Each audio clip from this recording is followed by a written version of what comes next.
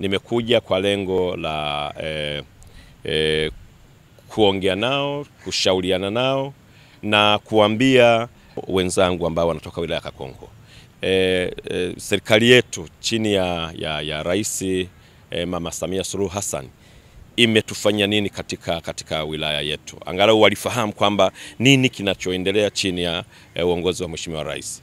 Lakini wakati huo nikishawaambia hiyo, nao wana, wana, wana, wana mawazo ya nini tunaweza tukasasa tukafanya kwenye wilaya yetu, na kwa ujumla wake kwamba serikali E, ya Mama Samia imetutendea makubwa katika e, maeneo ya shule. Tumeweza kujengewa shule nyingi hasa kwenye upande wa madarasa, lakini kwenye upande wa, wa afya sasa hivi hospitali ya wilaya inajengwa, lakini e, vipo vituo vya afya vinajengwa katika kata ya Gwarama e, katika kijiji cha Nyakiobe, lakini e, katika kata ya Gwanumpu kuna eh, Gwanumpu pale eh, kituo cha afya kinajengwa, lakini kuna zahanati zinajengwa katika kijiji cha Rumashi, kuna zahanati inajengwa katika kijiji cha eh, Ruhuru, kuna zahanati inajengwa katika kijiji cha Njomlole, kuna zahanati inajengwa katika kijiji cha Kihomoka, kuna zahanati inajengwa katika kijiji cha, cha, cha, cha, cha, cha Rusenga katika eh, kata ya gwanum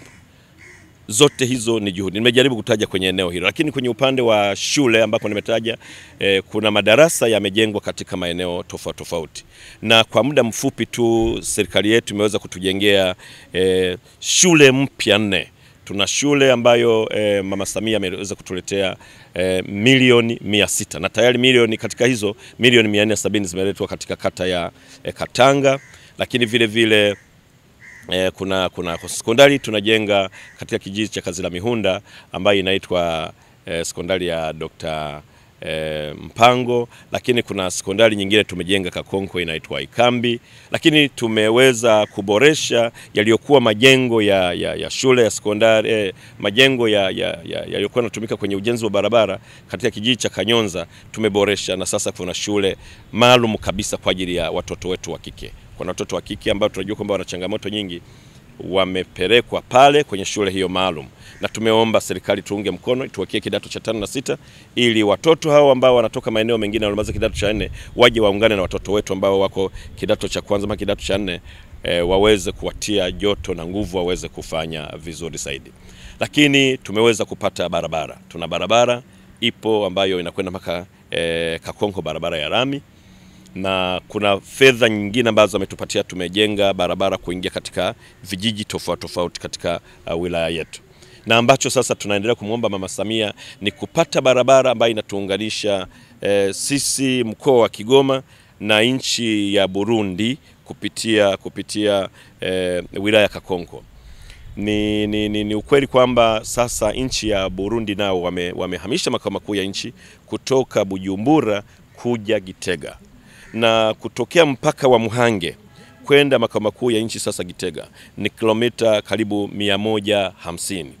Kwa kwetu kupata barabara kutoka Kakonko kwenda kwenye mpaka wa Muhange ambazo ni karibu kilomita 38 ni fursa. Kwa hiyo hilo nimekuja kuambia kwamba e, wananchi wa Kakonko e, wilaya yetu inakwenda na hilo tunaendelea kulifuatilia tuone kwamba e, serikali inaweza kutupatia e, fedha kwa ajili ya ujenzi wa, wa, wa, wa, wa barabara e, ya, ya kutunganisha sisi na Burundi. Kwa hiyo kwa ujumla wake nimekuja kuambia kwamba serikali nini imefanya kwenye wilaya yetu, lakini juhudi tulizo nazo hasa kwenye kilimo kilimo wilaya yetu hatukuwa na mazao ya biashara, lakini tumeweza kuwashawishi wananchi wetu sasa wanalima zao la alizeti vizuri sana, na kuna uwezekano kwa mwaka huu wilaya ya Kakonki ikawa ni miongoni mwa wilaya ambazo tumelima vizuri sana zao la alizeti. E, mikoa ya Singida walianza wao mapema lakini sisi tumeanza hivi karibuni. Sasa uzuri ni kwamba sisi wakati mikoa mingine wanapata changamoto kubwa sana ya mvua, sisi Kakonko tumelima zao hilo e, kwa nguvu sana, lakini tumefanikiwa kupata e, mvua. Kwa hiyo ndio maana nasema kwamba wilaya Kakonko inaweza kawa ni miongoni mwa wilaya ambazo zimefanya vizuri sana kwenye, kwenye, kwenye, kwenye zao hili la kimkakati la alizeti, na muda huu tunakwenda sasa na zao la, la, la, la chikichi. Chikichi nayo imechukuliwa kama mkoa wa Kigoma kama ndio zao la, la, la, la, la, la biashara, lakini vile vile kama zao sasa la kujibu changamoto kubwa sana ya mafuta katika nchi hii. Kwa hiyo Kakonko kama sehemu ya mkoa nayo sasa hivi tunaendelea na, na, na kilimo eh, cha chikichi. Na, naitwa Darius Karijongo, mimi ni mzaliwa wa kijiji cha Rumashi, kata ya Nyabibuye, uh, wilaya Kakonko, lakini niko kwenye jimbo la Buyungu, jimbo ambalo kwa sasa uh, liko na mheshimiwa wetu uh, Kamamba, mbunge wetu.